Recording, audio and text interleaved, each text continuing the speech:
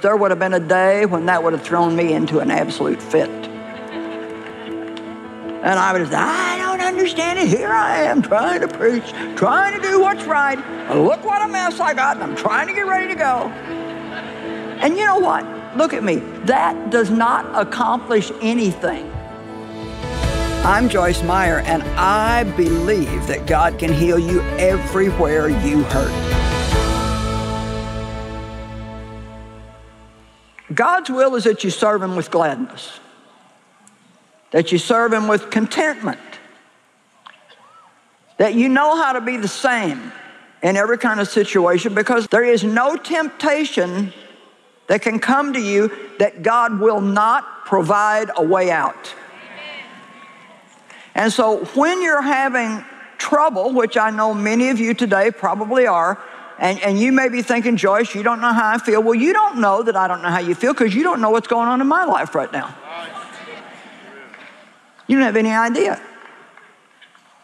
And everybody that preaches to you, that doesn't mean that they don't have any problems themselves. Matter of fact, sometimes we got bigger problems than you do. Amen? And I believe that God wants us to get to the point where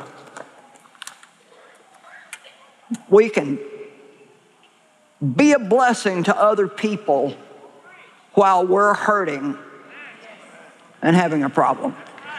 Amen. Matter of fact, I think that's one of the most powerful things that you can do. And a lot of times when we have problems, we want to shrink in to ourselves and isolate ourselves and just go and have our problem and maybe feel sorry for ourselves. And we find somebody to talk to, talk to about our problem. Talk to God all the time about our problem. And no matter what kind of problem you've got, it could be worse.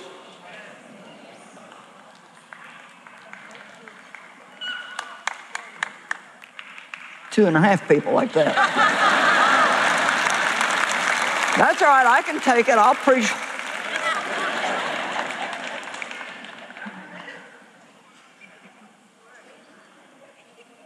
The Bible says that we overcome evil with good. Well, there's so much evil in the world today. And I know a lot of people think, what are we going to do? What are we going to do? What should we do? What are we going to do? What are we going to do? Well, Romans 12, 21 says, you overcome evil with good. And to me, that's one of the most beautiful scriptures in the Bible. There's only one way to get rid of darkness, and that's with light. And there's only one way to get rid of evil, and that's with good. Because God is good and the devil's bad. so when he's being bad, we need to be good. We don't need to be bad with him. Amen? You know, when I learned that I had authority over the devil, I constantly was rebuking and resisting the devil. I rebuke you. I. And what I was really trying to do was get rid, get rid of the problem. And God spoke to my heart and He said, When I tell you to resist the devil, I'm not telling you to resist your problem. I'm telling you not to act like the devil while you have a problem.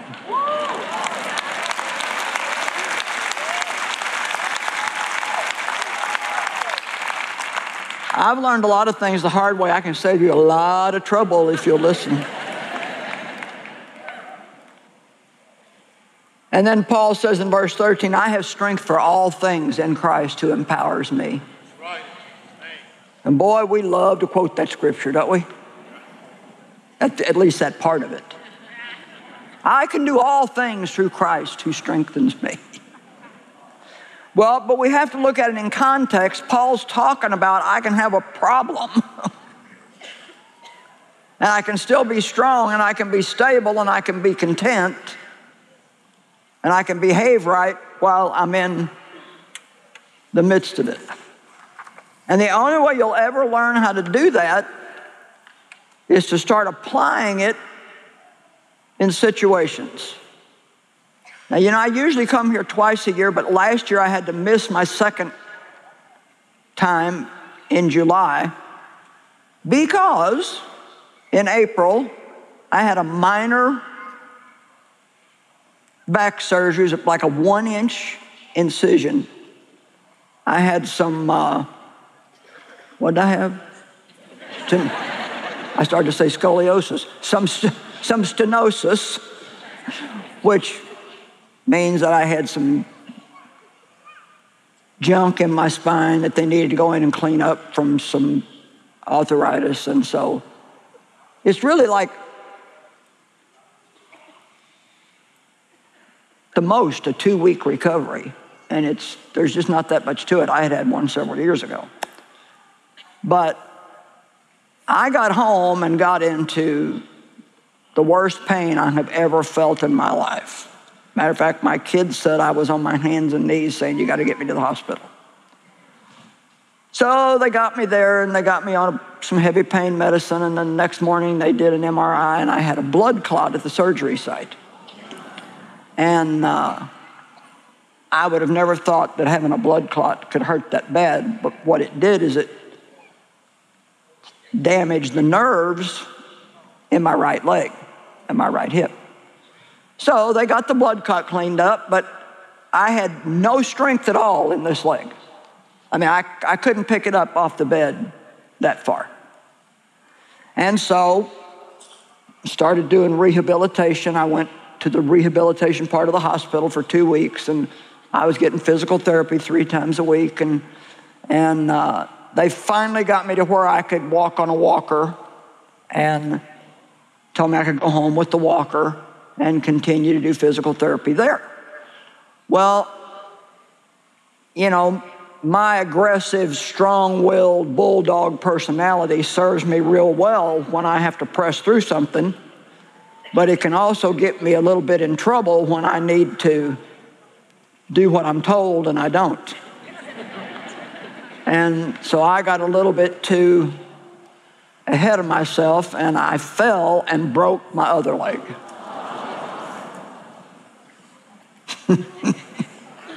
so now I've got two legs that won't work.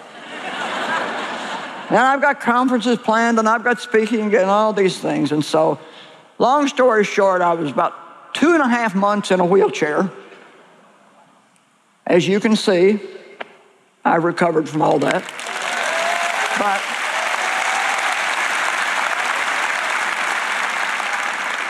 the first thing I said to the Lord the first day in the hospital. And when I tell you that, I'm not bragging to myself, I'm just giving you some hints on things you can do. The first thing I said to the Lord is, God, please help me do this right. So that's a good prayer to pray. As soon as you have a problem of any kind, just say to God, please help me do this right. And what I meant by that was, help me be stable, help me stay the same, Help me not complain. Help me not to feel sorry for myself. Help me not to be grouchy. Help me represent you here in this hospital. Be kind to everybody. Let my light shine. See, let me tell you something. That's more important than getting rid of your problem.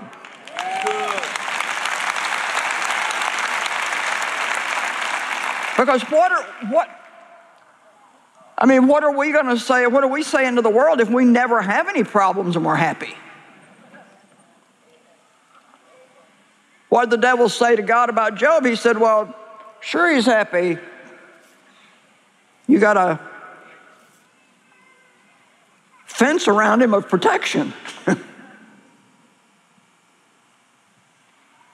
and so he started having some problems and still stayed stable. And so, man, God helped me. And I mean, if I say so myself, I behaved pretty good during that time. and uh, I had to have somebody with me 24 hours a day, and my poor family, I mean, they had to take four hour shifts staying with me. I mean, just I mean, just trying to go to the bathroom was like a nightmare. They gave me this slide, taught me how to do this sliding board thing, and so you got a wheelchair and it lets down on one side, and so you slide out of the bed into the wheelchair, and then you go to the toilet, and then you got to slide out of the wheelchair onto the toilet, and then you got to slide back off the toilet onto the wheelchair. And I'm a frequent flyer when it comes to potty, so. Because I drink a lot of water. So, we stayed busy. Now,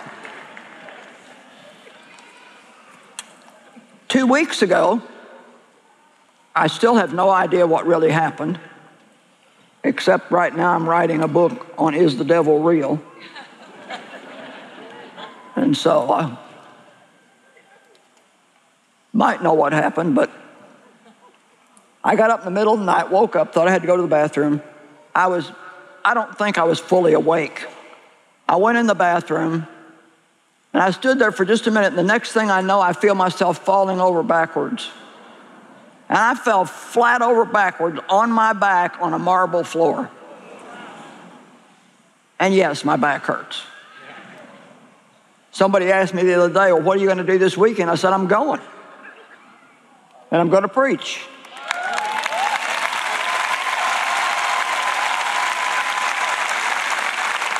And God always, always, I don't care how bad it seems, I've seen it year after year and time after time. if I just keep putting one foot in front of the other one, when I need to do what I need to do, the anointing comes and He enables me to do it. Amen. And so that's getting better. But the first thing I thought is it could have been worse. Because I didn't hit my tailbone, I could have broke that, and that's bad. I did not hit my head, and I was about that far from the bathtub. I could have easily hit my head on the bathtub. So I don't know, maybe the devil pushed me over, but there were angels in there to make sure. See, you've got angels with you all the time. In Luke 10 19, it says, Behold, I have given you power and authority over all the power the enemy possesses. Now, I don't want you to miss this. The devil has power, but we have authority.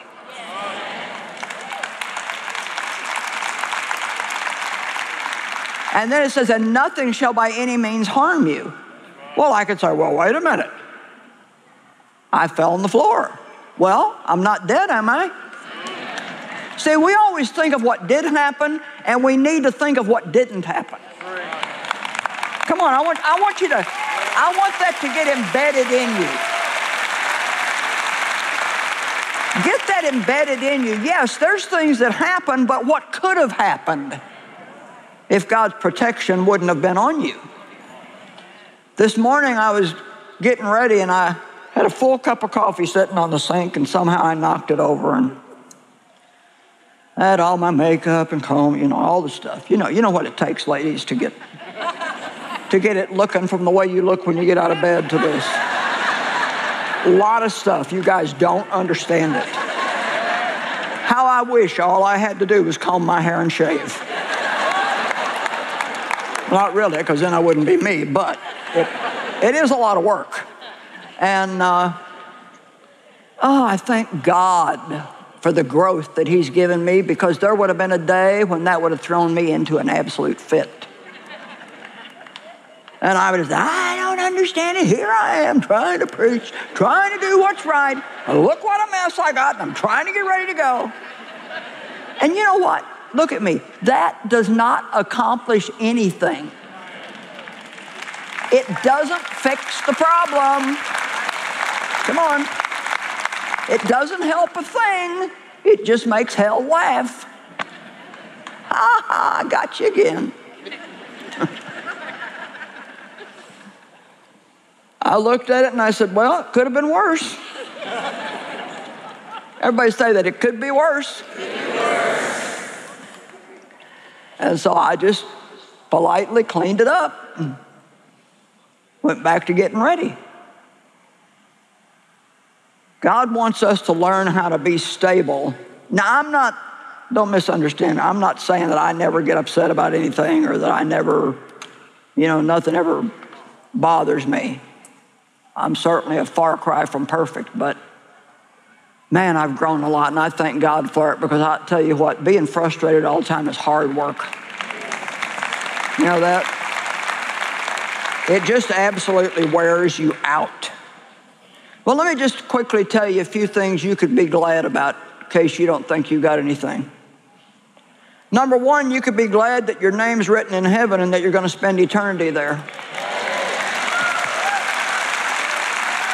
Man, no matter what else is going on, you're not going to hell. Woo, that's good news. I hear it's not a very nice place. I read recently that 50% of Christians don't believe in hell and they don't believe in the devil. And I thought, well, isn't that convenient? that means I can do anything I want to. And so that's why I'm writing a book called Is the Devil Real? You better believe he's real. You better believe it. The disciples were sent out two by two to preach the kingdom of God is at hand, and Jesus gave them power to heal and power to cast out demons. And in Luke 10 20, they came back all excited about casting out these devils. And listen to what Jesus said to them Do not rejoice at this that the spirits are subject to you, but rejoice that your names are enrolled in heaven. That's, that's the thing that we should be the happiest about no matter what else happens in our life. We're going to spend eternity in the presence of God. Wow.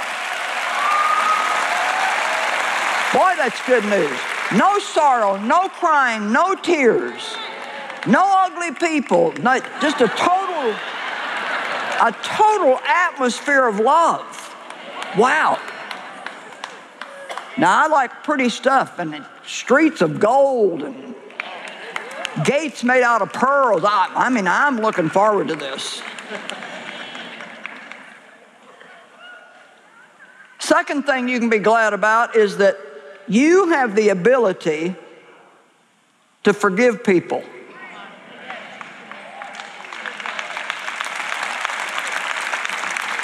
You think that's not a blessing?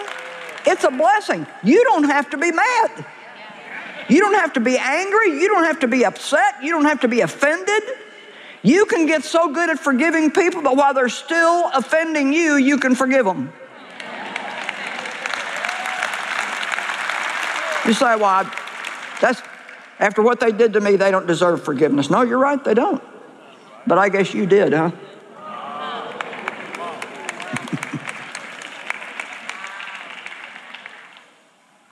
Well, they owe me.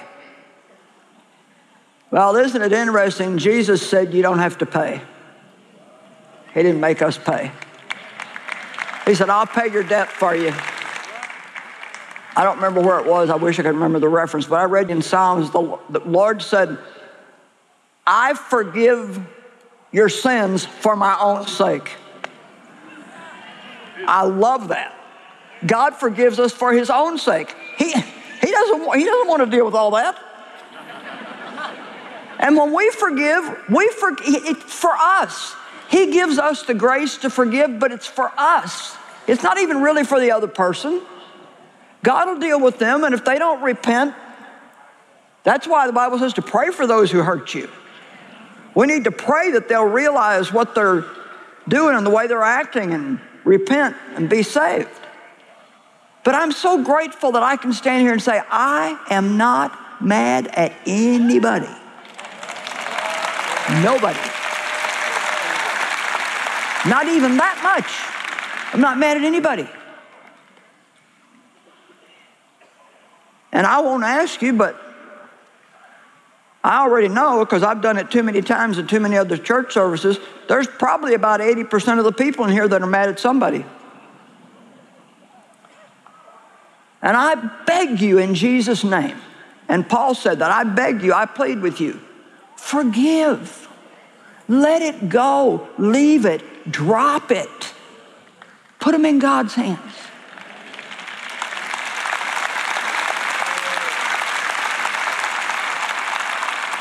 And just in case you don't understand forgiveness, it's not a feeling. You may forgive somebody and still not feel any different about them. It's a decision on how you treat them. Now, listen to me, that's worth its weight in gold. It's not about how you feel. A lot of people pray to forgive somebody and they don't feel any different about them, so they think they didn't forgive them. Forgiveness means you pray for them, you stop talking ugly about them, says bless and do not curse them, and to bless means speak well of, to curse means speak evil of. And if they need help, you help them. Ouch. If they're thirsty, you give them water. If they're hungry, you feed them. Literally means if somebody that you would put in the enemy class, if their car breaks down, that you'll actually offer to go by and pick them up, bring them to work. See, that, that's when the world goes, tilt. I don't get this. But that's what changes them. Amen?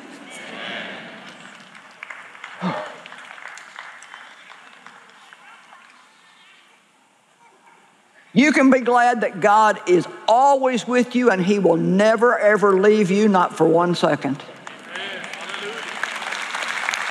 Not for one second.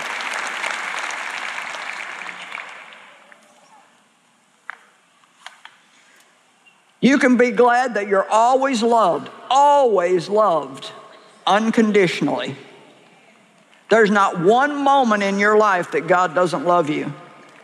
And get this no matter how many things you do right, He'll never love you any more than He does at this moment right now. Because He doesn't love you because of what you do, He loves you because you're His child.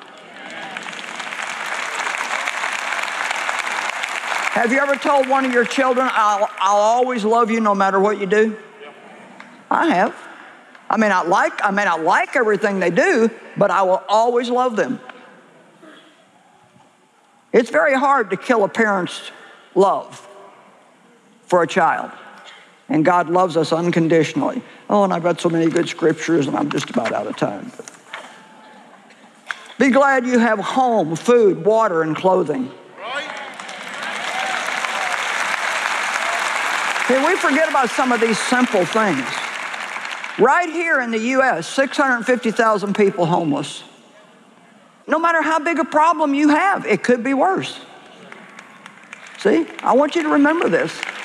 The next time you have a problem, say, it could be worse. Lord, help me do this right. And then lastly, be glad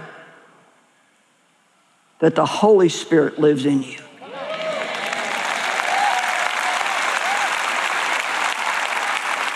What kind of an awesome thing is it for me to stand here and tell you, you are the home of God?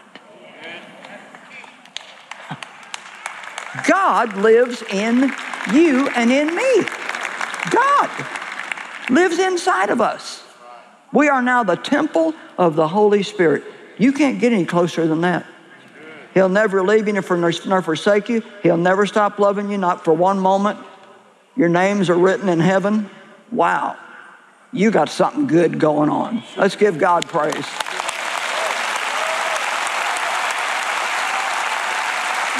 Thank you, Lord. All right, now if you'll be still, just give me two minutes. I preached really hard, so just be good for two minutes. If you're here today and you've never received Christ as your Savior, you've never invited Him to come into your heart, or maybe you've fallen away from God and the devil's made you think that God will never take you back. Well, that's a lie. Maybe you just need to come home today. We want to pray with you, and the church has got some material that they want to get to you. The Bible says if you believe in your heart and confess with your mouth that Jesus is Lord, you will be saved. If, you, if you're ready to turn away from sin and learn how to live the way God wants you to live, and you really believe that Jesus is who he, the Bible says he is, if you, if you need that prayer today and you want to receive Christ, lift your hand up and let me just see where you're at. Come on, I see hands up all over the place. Beautiful, wonderful, wonderful, wonderful. All right, we're going to all pray together, and then Lisa's going to come. Let's all pray this prayer together. Father God, I love you. Jesus, I believe in you. I'm sorry for the way I've lived. I turn away from sin, and I want to live for you. Come and live inside of me. Forgive me. Take me just the way I am. Now I surrender. Make me what you want me to be. Thank you for saving me. Amen. Give God a praise. Have you been looking for a 365 day devotional? Well, look no further than the promises for your everyday life devotional from Joyce Meyer. There's a focus verse for all 365 days of the year, along with a prayer starter. Get your copy of Promises for Your Everyday Life devotional at joycemeyer.org slash 365 Devo. The biggest thing that we need to do is learn how to think like God thinks, and the only way you can do that is by knowing the Word of God. In Words to Live By, Joyce Meyer shares how studying the Word of God transformed her life. Experience a deeper and more meaningful relationship with God through the captivating collection of verses in this beautiful hardcover book by Joyce Meyer. Discover the transformative power of His Word. Words to Live By from Joyce Meyer. Get your YouTube exclusive offer today. Go to joycemeyer.org slash words and the number two. Have you ever been trapped in a never ending frenzy where every passing moment feels like a blur, leaving you gasping for a chance to pause and catch your breath? In her insightful book, Pursuing Peace, Joyce Meyer explores the importance of seeking peace at all costs. This beautiful hardcover edition is filled with meaningful scriptures and uplifting quotes from Joyce, providing valuable guidance for living a peaceful lifestyle. So grab a cup of coffee, find a comfortable spot, and embark on your journey to find peace. Remember, this limited time YouTube offer won't last long. Go to joycemeyer.org slash pursuit to get your copy today and start your pursuit of peace.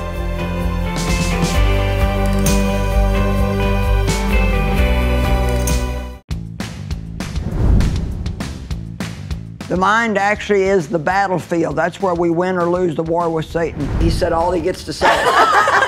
he says the rest of the day is mine. You start asking God to heal you, and He will restore. He's the God of all comfort, and I am so grateful that I know how to call on God.